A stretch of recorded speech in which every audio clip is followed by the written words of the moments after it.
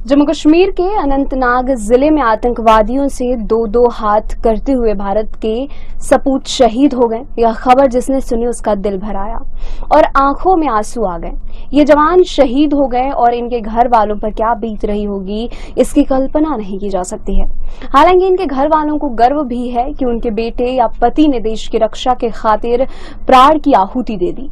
Colonel Manpreet Singh आतंकियों के खिलाफ चलाए जा रहे ऑपरेशन के लीडर थे। वे शादीशुदा थे। उनका छह साल का बेटा और दो साल की बेटी है। वे नाना नानी के घर थे। मनप्रीत की पत्नी जगमीत कौर टीचर हैं और उन्हें बहुत देर तक इस घटना के बारे में बताया नहीं गया।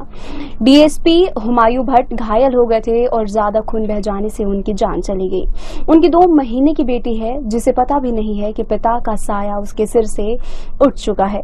हुमायूं की पत्नी प्रोफेसर हैं। जब हुमायूं का शव तिरंगे में लिपटा हुआ घर पहुँचा तो पत्नी अपनी बेटी के साथ इस शहादत पर गर्व कर रही थी। बटालियन कमांडर मेजर आशीष घोनैक तीन बहनों के बीच इकलौते भाई थे। उनकी दो साल की बेटी है। बेटी पर क्या गुजर रही होगी, ये सोचकर ही कलेजा मुँह में आ जाता है।